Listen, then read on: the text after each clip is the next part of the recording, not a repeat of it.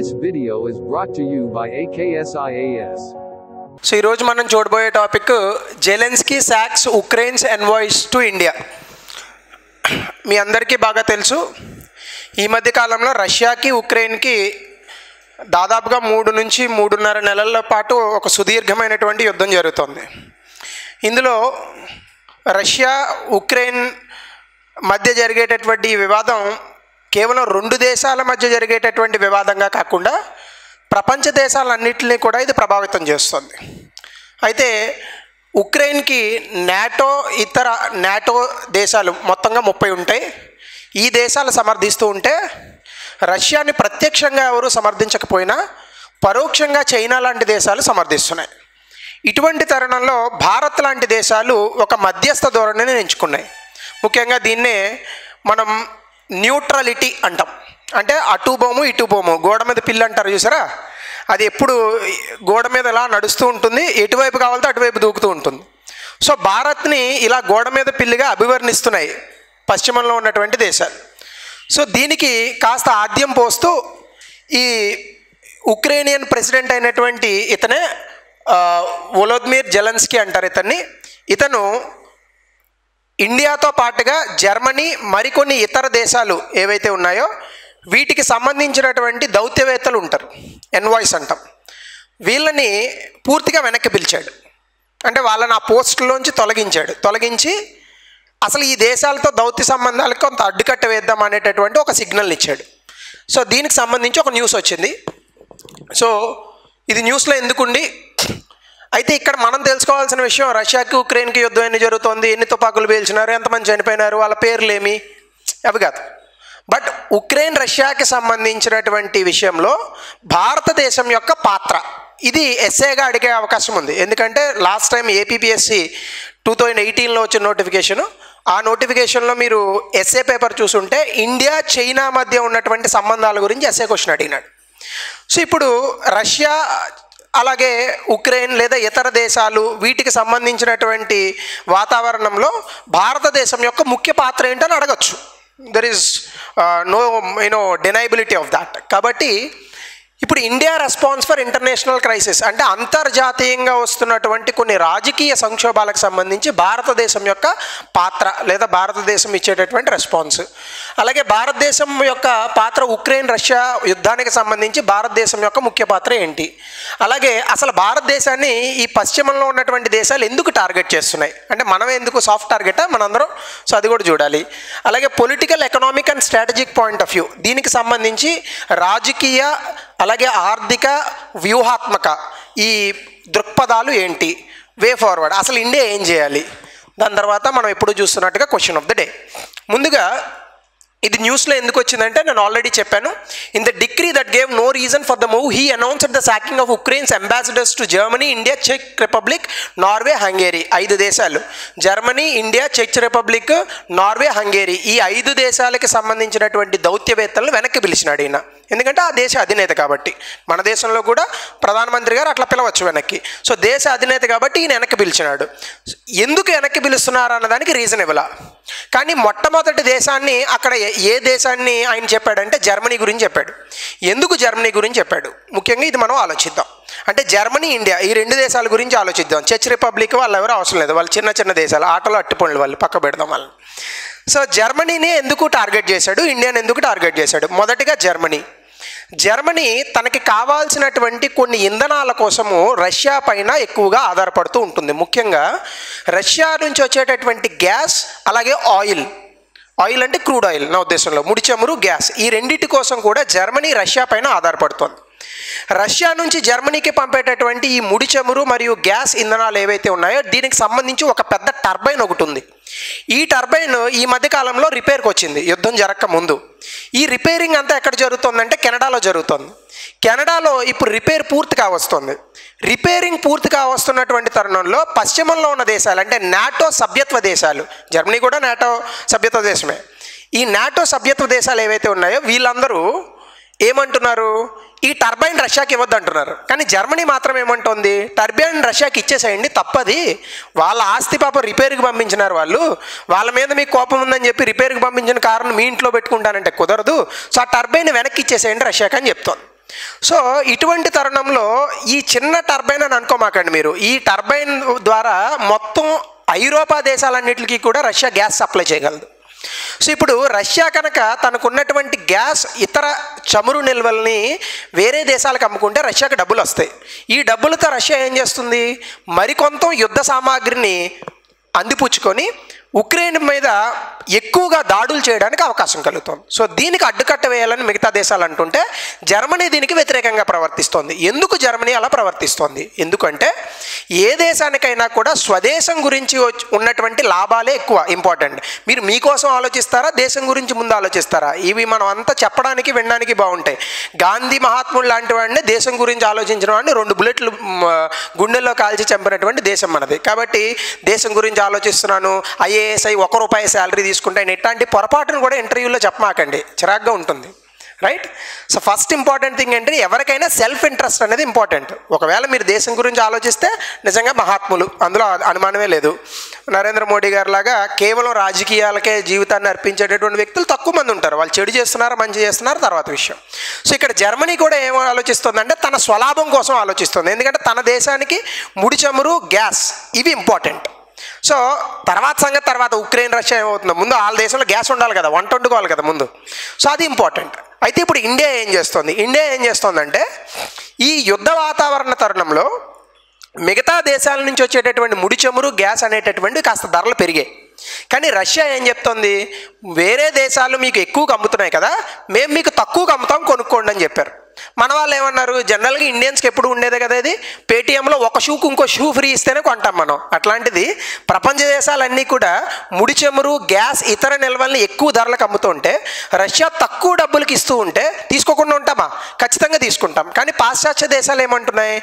మీరు రష్యా దగ్గర ఈ కొంటున్నటువంటి గ్యాస్ అలాగే ముడి చమురు వల్ల రష్యాకి డబ్బులు వస్తున్నాయి. దాని ద్వారా మీరు యుద్ధాన్ని ప్రేరేపిస్తున్నారని చెప్పి ఇండియా మీద వాళ్ళు తిరగబడుతున్నారు. అయితే దీనికి సంబంధించి జయశంకర్ గారు ఆల్రెడీ ఆన్సర్ చెప్పారు. చాలా ఐరోపా దేశాలు కూడా కొంటున్నాయి. సో కేవలం మనం మాత్రమే కాదు. సో ఇది న్యూస్లో ఉన్నటువంటి అంశం. అయితే ఇండియా రెస్పాన్స్ చూస్తే మనకి పంతొమ్మిది వందల యాభై ఆరులో అంటే నెహ్రూ గారు మొట్టమొదటి ప్రధానమంత్రిగా ఉన్నటువంటి సమయంలో హంగేరియన్ క్రైసిస్ అని ఒకటి జరిగింది. ఇదే రష్యా హంగేరీ పైన కూడా యుద్ధాన్ని చేసింది. అయితే ఆ తరుణంలో ప్రపంచ దేశాలన్నీ కూడా ఈరోజు ఉక్రెయిన్ మీద ఎలా అయితే భారత్ స్పందించట్లేదో అదేవిధంగా ఆ రోజు కూడా భారత్ స్పందించలా. అయితే చాలామంది అడిగారు ఎందుకు మీరు స్పందించట్లేదు? అంటే ఆ రోజు జవహర్లాల్ నెహ్రూ గారు ప్రైమ్ ప్రైమ్ మినిస్టర్గా ఉండి పార్లమెంటులో ఒక స్టేట్మెంట్ ఇచ్చాడు ఆయన. మీకు ఇక్కడ రాశాను నేను అది. If you if it is visible ఇదిగో. నాన్ కండెమ్నరీ అప్రోచ్ కండెమ్ చేయడం అంటే ఏంటి? ఇన్ జనరల్గా ఏవైనా ఒక వ్యాఖ్యలు లేదా ఏదైనా ఒక విషయాలు వచ్చినప్పుడు వాటిని ఖండించడాన్ని కండెమ్నింగ్ అంటారు. అయితే మనం కండెమ్ చేయలే ఎవరిని ఖండించలా? రష్యాని ఖండించలా హంగేరీని ఖండించలా? మధ్యస్థ ధోరణి పాటించాం. ఆ రోజు నెహ్రూ గారు చెప్పిన విషయం there are many things happening in the world from year to year and day to day which we have disliked intensely we haven't condemned them because when no one is trying to solve a problem it doesn't help calling names and condemning అంటే ఆయన ఏం చెప్పాడంటే ప్రపంచ దేశాల్లో రోజు రోజుకు సంవత్సర సంవత్సరానికి ఏదో ఒక విషయం జరుగుతూనే ఉంది అయితే ఈ విషయాలు ఏవైతే జరుగుతున్నాయో వీటిని భారతదేశం ఏ రోజు కూడా ఆమోదించదు కానీ భారతదేశంతో పాటుగా మిగతా రెండు వందలకు పైగా ఉన్నటువంటి దేశాలు ప్రపంచంలో జరుగుతున్నటువంటి ఈ విషయాలని సాల్వ్ చేసేటట్టుగా అంటే పరిష్కరించేటటువంటి ధోరణిలో ఆలోచించట్లా. ఎప్పుడు కూడా సమస్యకి పరిష్కారం లేనప్పుడు నీకు దాన్ని ఖండించే హక్కు లేదు. అంటే కరెక్ట్గా మీ భాషలో చెప్పాలంటే యుద్ధం చేసే సామర్థ్యం లేనప్పుడు శాంతి గురించి ప్రస్తావన తీసుకురాకూడదు. Mahesh Babu dialogue. Business man సినిమాలోది.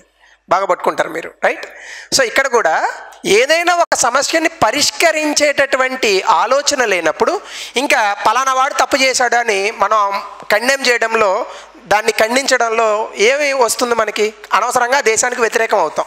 సో ఈ అప్రోచ్ని ఇండియా ఈరోజు కాదు పంతొమ్మిది వందల యాభై ఆరు నుంచి ఫాలో అవుతుంది.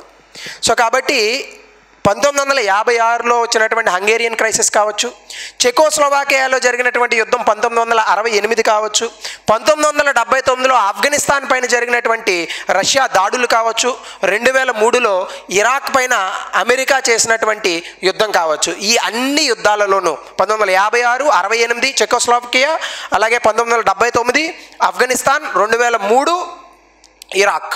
ఈ అన్ని సందర్భాల్లో భారత్ ఫాలో అయినటువంటి ధోరణి ఇదే. నాన్ కండెమినరీ అప్రోచ్ ఎందుకురా అట్లా కొట్టుకొని చచ్చిపోతారు? ఒకరిని ఒకరు చంపుకోమాకండి అని చెప్తామే తప్ప వాడు తప్పు చేశాడు వీడు తప్పు చేశాడు అని చెప్పం. ఎందుకంటే అది మన పాలసీ. కాబట్టి ఈ రోజు ఎంచుకున్న పాలసీ కాదు అది పంతొమ్మిది వందల యాభై ఆరు నుంచి వస్తుంది. కాబట్టి ఈ మధ్యకాలంలో condemnation of civilian killings without any name calling and abstention from UN votes అంటే ఐక్యరాజ్య సమితిలో రష్యాకి వ్యతిరేకంగా కొన్ని తీర్మానాలు పెట్టారు. భారతదేశం అసలు ఆ తీర్మానాలకు ఓటేయడం పక్కన పెట్టండి. అసలు అటెండెన్సే వేయించుకోవాలి పోయి. కానీ మనం ఏం చెప్పాం? బయట నుండి మేము ఈ తీర్మానాలను ఎప్పుడూ కూడా వ్యతిరేకించము అలా అని స్వాగతించము. కానీ అనవసరంగా జనాలను చనిపోవడం మాత్రం మేము వ్యతిరేకిస్తాం. అంటే సాధు జీవులు అనమాట మనం. రైట్ అలాగే India abstain on US sponsored UNSC resolution అంటే ఐక్యరాజ్య సమితి భద్రతా మండలిలో రష్యాకి వ్యతిరేకంగా పెట్టినటువంటి తీర్మానానికి భారత్ గైర్హాజరైంది. అలాగే India abstain from United Nations General Assembly resolution Russia for its military actions in Ukraine అంటే ఉక్రెయిన్లో రష్యా చేస్తున్నటువంటి దాడులకు వ్యతిరేకంగా ఐక్యరాజ్య సమితి జనరల్ అసెంబ్లీ పెట్టినటువంటి తీర్మానానికి కూడా భారత్ గైర్హాజరైంది. అలాగే India also abstain from International Atomic Energy Energy Agency వాళ్ళు పెట్టిన తీర్మానానికి కూడా మనం గైజర్ హాజరయ్యాం. అయితే మనం ఒక్కలమే అయ్యామా? కాదే. కానీ మరి భారత్ ఒక్కలనే ఎందుకు? సాగొడుతున్నారు దీనికి కొన్ని రీజన్స్ ఉన్నాయి. అవి మనం చూద్దాం. Who are similar to India's response భారతదేశం మాదిరిగానే భారతదేశంతో చాలా సత్సంబంధాలు కలిగినటువంటి సౌత్ ఆఫ్రికా బ్రిక్స్లో ఒక భాగం ఇది. మీకు బాగా గుర్తుండుంటే. అలాగే మన దేశంలో జాతి పితగా పేర్కొనబడేటటువంటి మహాత్మా గాంధీ గారు మొట్టమొదట విప్లవాలు అనేటటువంటివి అసలు ఎక్స్పీరియన్స్ చేసినటువంటి దేశం సౌత్ ఆఫ్రికా అపార్థైడ్కి వ్యతిరేకంగా చేశాడు ఆయన. సో ఈ సౌత్ ఆఫ్రికా కూడా యునైటెడ్ నేషన్ రెజల్యూషన్స్కి వ్యతిరేకంగా కానీ సానుకూలంగా కానీ స్పందించాల. యాబ్స్టెన్ అయింది గైర్హాజరైంది. అలాగే మరొకరిని చూస్తే మీరు యుఏఈ అమెరికాకి అత్యంత ఆప్తమిత్రుడు United Arab Emirates Gulf nation వీడు కూడా అబ్స్టన్ అయ్యాడు ఓటింగ్కి. సో ఇంకా ఇంకెంతకన్నా ఏం చెప్తాం? అలాగే మూడు ఇజ్రాయిల్ అసలు అమెరికా అంటే ఇజ్రాయిల్ ఇజ్రాయిల్ అంటే అమెరికా. ఒక రకంగా చెప్పాలంటే. వీడు కూడా రష్యా అటాక్స్ని కండెమ్ చేసినప్పటికీ కూడా శాంక్షన్స్ అంటే రష్యాకి వ్యతిరేకంగా ఆంక్షలు పెట్టారు అమెరికా వాళ్ళు. ఈ ఆంక్షల్ని స్వాగతించలా వాడు కూడా. ఎందుకు స్వాగతించలేదంటే ఇందులో లాజిక్ ఉంది. వీడు స్వాగతించాడు అనుకోండి ఇజ్రాయెల్కి వ్యతిరేకంగా ఉన్న దేశం ఏది? దగ్గరలో ఇరాన్. ఇరాను రష్యా ఫ్రెండ్స్ వీడు స్వాగతించాడు అనుకోండి రష్యా వాడు ఇరాన్కి బాంబులు ఇచ్చి వీడి మీద ఇమ్మంటాడు సో ఎవడి గోల వాడిది ఇక్కడ? సో దాని ప్రతిదానికి లాజిక్ ఉంటుంది. అలాగే టర్కీ మన అందరికీ బాగా తెలుసు. టర్కీ అనేది నాటోలో భాగం. ఈ టర్కీ కూడా అసలు ఉక్రెయిన్కి రష్యాకి వ్యతిరేకంగా ఏం చెప్పకుండా మీరిద్దరు అనవసరంగా దెబ్బలాడుకోమాకండి నేను వచ్చి మీ ప్రాబ్లం సాల్వ్ చేస్తానంటుందే తప్ప రష్యాకి వ్యతిరేకంగా పెట్టినటువంటి ఆకాంక్షల్ని సమర్థించాల. సో ఇన్ని ప్రపంచ దేశాలు ఉండగా భారత్ని మాత్రమే ఎందుకు టార్గెట్ చేస్తున్నారు? ప్రపంచ దేశాలు. ఇదే జై జైశంకర్ అడుగుతుంది. ఎక్స్టర్నల్ అఫైర్స్ మినిస్టర్ ఎందుకు అంటే చెప్తాను. యుఎస్ ప్రెసిడెంట్ జో బిడెన్ కూడా ఏమన్నాడు? ఈయన మన సినిమా డైలాగ్ ఒకటి కాపీ కొట్టాడు సమ్వాట్ ఫిషీ అలాగే సమ్వాట్ షేకీ అన్నాడు. అంటే భారత్ యొక్క ధోరణి సమ్వాట్ షేకీ అలాగే ఈయన కూడా ఉన్నటువంటి ఒక ఎగ్జిక్యూటివ్ ఒక అడుగు ముందుకేసి భారత్ తీవ్రమైన పర్యవసానాలు ఎదుర్కోవాల్సి వస్తుందని బెదిరించాడు కూడా ఆయన. మనం ఏమీ మాట్లాడం ఇప్పుడు దారిన పోయేటప్పుడు చాలా కుక్కలు మరుగుతూ ఉంటాయి. మనం పట్టించుకోం ఇన్ జనరల్గా భారత్ అదే ధోరణి. అందుకే మనం ఎప్పుడు కూడా మన దేశంలో ఏనుగు వెళ్తూ ఉంటే కుక్కలు మరుగుతాయి అనే సామెత చాలా ఎక్కువగా చెప్తూ ఉంటాం. ఎందుకు చెప్తూ ఉంటాం అంటే మన దేశం ఇదే ఫాలో అవుతుంది కాబట్టి. Right so why India is targeted మూడు రీజన్స్ ఉన్నాయి. పొలిటికల్ ఎకనామికల్ స్ట్రాటజిక్ ఆర్థిక రాజకీయ వ్యూహాత్మక కారణాలు. అందులో మొదటిది రాజకీయ కారణాలు ఏంటి? West is trying to narrate Russia attack on Ukraine is an assault on free world స్వేచ్ఛాయుతమైన ప్రపంచం పైన జరిగినటువంటి దాడిగా రష్యా చేస్తున్నటువంటి దాడులను అమెరికా అమెరికా తాలూకా కొమ్ము కాస్తున్న పాశ్చాత్య దేశాలు అభివర్ణించడానికి చూస్తున్నాయి. ఈ అభివర్ణనను అతిపెద్ద ప్రజాస్వామ్య దేశమైనటువంటి భారతదేశం కనుక ఆమోదించకపోతే దానికి ఏమైనా లెక్క ఉంటుందా అసలు? ఇప్పుడు ఇంట్లో ఏదో మీటింగ్ జరుగుతుందండి. నాన్న అమ్మ ఉన్నారు. నాన్న ఇంటికి పెద్ద. ఈ జరుగుతున్నటువంటి మీటింగ్లో అమ్మ నాన్న లేకపోతే ఆ మీటింగ్ ఏమైనా అర్థం ఉందా? మనం కూడా అంతే ఇక్కడ. ఏంటి? ఈ రష్యాని ప్రపంచ దేశాలన్నీ కూడా స్వేచ్ఛాయుతమైన ప్రపంచం మీద జరిగినటువంటి దాడిగా అభివర్ణిస్తూ ఉంటే అతిపెద్ద ప్రజాస్వామ్య దేశమైనటువంటి భారతదేశం దాన్ని ఆమోదించకపోతే అసలు ఈ స్టేట్మెంట్కి ఈ ప్రతిపాదనకి ఏమన్నా అర్థం ఉందా? అసలు ఆ ప్రతిపాదనకి అర్థమే లేదు. అది పాశ్చాత్య దేశాల భయం. ఎందుకు అంటే దాదాపుగా ఈ భూమిపైన ఎనిమిది వందల కోట్ల మంది పైచీలకు జనం ఉన్నారు. అందులో పద్దెనిమిది పైన శాతం పద్దెనిమిది శాతం ఇండియా. ఇంకొక ఇరవై శాతం చైనా. వీళ్ళిద్దరూ కలిపితే ప్రతి వంద మందిలో నలభై మంది ఇండియా వాళ్ళు చైనా వాళ్ళు కలిపి ఉంటారు. సో వందలో నలభై మంది ఈ నెరేటివ్ను ఆమోదించకపోతే దానికి ఏమైనా అర్థం పర్థం ఉందా అసలు? ఇది పాశ్చాత్య దేశాల రాజకీయ దృక్పథం. సో అందుకు అమెరి ఇండియా పైన ఎక్కువగా వాళ్ళు ప్రెషర్ పెడుతున్నారు. అలాగే ఎకనామిక్ ఏంటి? ఎకనామిక్ ఏంటంటే మనకి ముఖ్యంగా ఇప్పుడు రష్యా చేస్తున్నటువంటి దాడులను ఎదుర్కోవాలంటే రష్యాను ఆర్థికంగా బలహీనం చేయాలి. దాని గురించి అమెరికా చాలా రకాల శాంక్షన్స్ అనేటటువంటివి పెట్టింది ఆంక్షలు పెట్టింది. ఈ ఆంక్షల్ని జపాన్ సౌత్ కొరియా సింగపూర్ మినహా ఏ ఆసియా దేశాలు ఆమోదించలేదు. ఒకవేళ అతిపెద్ద ప్రజాస్వామ్య దేశమైనటువంటి భారత్ దాన్ని ఆమోదిస్తే రష్యాకి చాలా పెద్ద ఇబ్బంది అవుతుంది. ఎందుకంటే రష్యా నుంచి చాలా ముడి చమురు గ్యాస్ ఇవన్నీ కొనుక్కుంటాం. రష్యా నుంచి చాలా రక్షణాత్మకమైనటువంటి ఎక్విప్మెంట్స్ ఉంటాయి కొన్ని. అవన్నీ మనం కొనుక్కుంటాం. దీనివల్ల Russian economy Indian economy China మీద ఆధారపడి ఉంది. ఇండియన్ కట్ చేస్తే ఏమవుతుంది ఆబ్వియస్గా ఇబ్బంది పడుతుంది. సో ఇది వెన్ కమ్స్ టు ఎకనామిక్ ఆర్థికపరమైనటువంటి విషయాలు. If India is also continues trade with Russia sanctions will have a limited effect అంటే వాళ్ళ ఆంక్షలు పెట్టినప్పటికీ భారతదేశం తన పని తాను చేసుకుంటూ రష్యాతో వాణిజ్యాన్ని కనుక కొనసాగిస్తూ ఉంటే వాళ్ళు పెట్టినటువంటి ఆంక్షలు చాలా పరిమితమైనటువంటి ప్రభావాన్ని చూపుతాయి రష్యా మీద. పరిమితమైనటువంటి ప్రభావాన్ని చూపితే అసలు ఏమైనా అర్థం ఉందా? అంటే టీచర్ పనిష్మెంట్ ఇచ్చి ఊరికి అట్లా బయటికి వెళ్ళరా అంటే ఏమైనా స్టూడెంట్ ఇబ్బంది పడతాడా? ఏముండదు. ఈ శాంక్షన్స్ కూడా అట్లానే మారుతాయి. సో కాబట్టి India support is very important అలాగే వ్యూహాత్మక విషయాలు ఏంటి ప్రపంచంలో వచ్చినటువంటి సంక్షోభాలలో కోల్డ్ వార్ అంతర్యుద్ధం అని ఒకటి జరిగింది రష్యాకి సోవియట్ యూనియన్కి అమెరికాకి మధ్య. దాని తర్వాత అంత పెద్ద ఒక విపత్తు అని అనొచ్చు మీరు. మానవ కల్పితమైన విపత్తు రాజకీయ విపత్తు ఇదే. అయితే భారతదేశం ఏం చేస్తోందంటే ఏదో రష్యా వైపు అన్నా ఉండాలా అమెరికా వైపు అన్నా ఉండాలా? మనం ఏం చేస్తున్నాం అంటే రష్యాతోని ఫ్రెండ్షిప్ చేస్తాం. అమెరికాతోని ఫ్రెండ్షిప్ చేస్తాం. చైనాతోని ఫ్రెండ్షిప్ చేస్తాం. కుదరలేదు కానీ పాకిస్తాన్తో కూడా చేస్తాం ఫ్రెండ్షిప్ సో మనం అంతా ఏంటంటే ఇట్లా ఓపెన్ వరల్డ్ అనమాట రండి ఎవరైనా వచ్చి సరే భారతదేశాన్ని కౌగులించుకోండి అనే పాలసీ మనది. సో ఈ పాలసీలో ఏమవుతుంది? రష్యాకి అమెరికాకి జరుగుతున్న అంతర్యుద్ధంలో నలిగిపోవడానికి భారత్ సిద్ధంగా లేదు. కానీ దీని నుంచి వచ్చేటటువంటి ప్రయోజనాలు పొందడానికి మాత్రం మొదటి ర్యాంకులో ఉంటాం మనం. సో ఇది పాశ్చాత్య దేశాలకి నచ్చట్లేదు. సో దీన్ని ఖచ్చితంగా ఖచ్చితంగా బ్యాలెన్స్ చేయాల్సినటువంటి సమయం వచ్చింది ఇప్పుడు. ఇప్పటి వరకు అటువంటి సమయం రాలా. ఇప్పుడు పంతొమ్మిది వందల డెబ్బై ఒకటిలో మనం పాకిస్తాన్తో చేసిన యుద్ధంలో వచ్చింది కానీ ఇప్పటి వరకు అటువంటి సమయం రాలా. కానీ ఇప్పుడు ఒకవైపు రష్యా తక్కడిలో ఒకవైపు అమెరికా ఈ రెండింటిని బ్యాలెన్స్ చేయాల్సినటువంటి తరుణం ఆసన్నమైంది. సో ఇది వ్యూహాత్మకమైనటువంటి ఒక దృక్పథం. సో ఇప్పుడు ఏం చేయాలి? ఏం చేయొద్దు? అసలు రష్యా మీద అమెరికా మీద రక్షణ రంగానికి సంబంధించి మనం చాలా ఎక్విప్మెంట్స్ కొంటున్నాం. అవి తగ్గించండి ఫస్ట్ ఫస్ట్ మనంతట మనం ప్రొడ్యూస్ చేసుకోవాలి. బుల్లెట్ల కోసం కూడా ఇజ్రాయిల్ని అడిగితే ఏం బాగుంటుందండి ఇంత పెద్ద దేశంలో? సో మన రక్షణ రంగంలో మనం స్వావలంబన సాధించాలి. అది ఒకటి. రెండు బ్యాలెన్స్డ్ అప్రోచ్ ఎవరికి వ్యతిరేకం కావద్దు. రష్యా ఉక్రెయిన్ పైన మీ దృక్పథం ఏంటంటే మీరు కూడా ఆన్సర్లో ఏం రాయాలి? రష్యా ఉక్రెయిన్ యుద్ధం భారత్కి సంబంధం లేదని డైరెక్ట్గా రాయకూడదు. రష్యా ఉక్రెయిన్కి మధ్య జరుగుతున్నటువంటి యుద్ధంలో సామాన్యులు చనిపోతున్నారు. దీన్ని భారత్ వ్యతిరేకిస్తోంది. ఎవడు చంపాడని చెప్పకూడదు. మీ ఆన్సర్ కూడా బ్యాలెన్స్డ్గా ఉండాలి. అలాగే realising west interest in India. ఇంకొక పాయింట్ ఏంటి? పాశ్చాత్య దేశాలు వాళ్ళకు ఉన్నటువంటి ఇంట్రెస్ట్ని భారత్ పైన రుద్దేటటువంటి ప్రయత్నం చేస్తున్నాయి. దీన్ని ఖచ్చితంగా మనం వ్యతిరేకించాలి. ఎందుకంటే ఐరోపాకి ఉన్నటువంటి ఇబ్బందులన్నీ ప్రపంచ ఇబ్బందులు కాదు. ప్రపంచంలో ఉన్న ఇబ్బందులన్నీ ఐరోపా ఇబ్బందులు కాదు.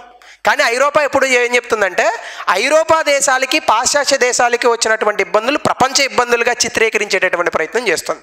ఇదే కోవిడ్ రెండు వేల పదిహేనులో ఎబోలా అనేటటువంటి వ్యాధి సారీ ఎబోలా కాదు జికా ఎస్ ఎబోలా అనేటటువంటి వ్యాధి రెండు వేల పదిహేనులో ఆఫ్రికా దేశాల్లో వచ్చింది. ఆ రోజు డబ్ల్యూహెచ్ఓ పాశ్చాత్య దేశాలు ఇంత ఇబ్బంది పడలా.